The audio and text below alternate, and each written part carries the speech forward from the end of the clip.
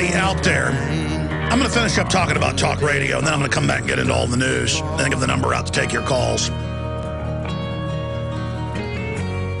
But nobody out there in talk radio wants to go up against Rush Limbaugh. I didn't want to go up against Rush Limbaugh. I wasn't even thinking about Rush Limbaugh 14 years ago when Ted Anderson said, you're doing this nighttime show on my little radio network, but uh, wouldn't you like to do a daytime show 11 to 2? And I said, isn't that Rush Limbaugh's slot? And he said, yeah, but there's some smaller stations out there that, you know, that can't get him on their station. So why don't you fill that slot? And I said, okay, I'll do it.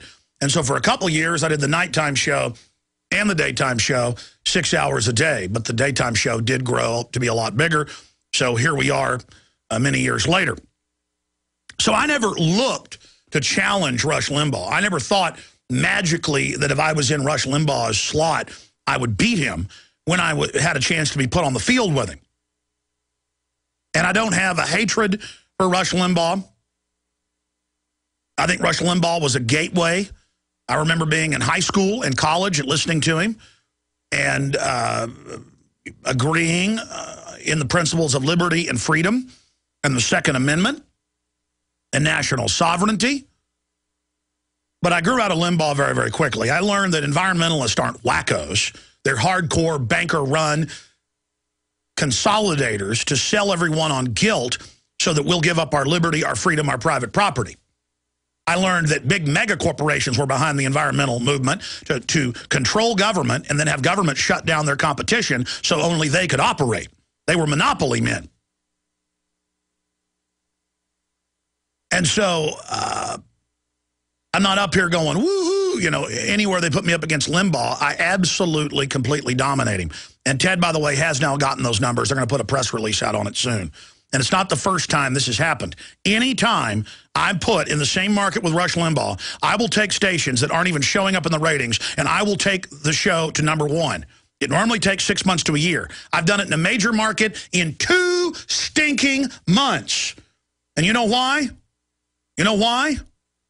Because they've put in the instant people meters that actually show who's being listened to. And it's a lot harder to game those. And here's my problem with Rush Limbaugh.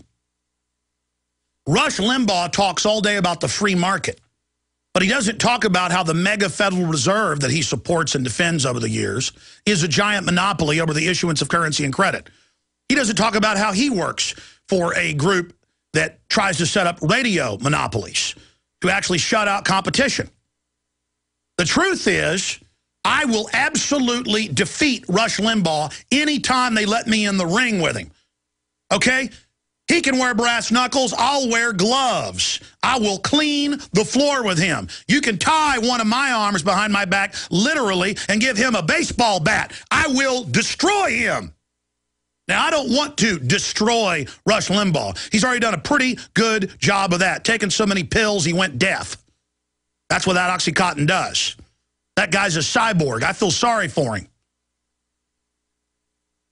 I want to get America back. I want my republic back. I want my Bill of Rights and Constitution back. That's what I want. I could care less at the end of the day to say, man, I'm the most hard-hitting, hardcore, truly cutting-edge radio host that's hit this country in decades.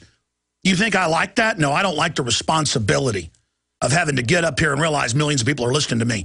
This is a mission. This is not entertainment. This is not uh, about being a big personality. This isn't about living in you know, $30 million houses or flying around on private jets.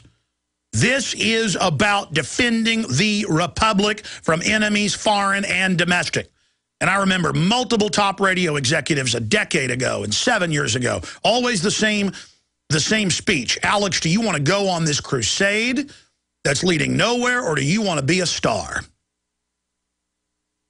Be a mainline Republican.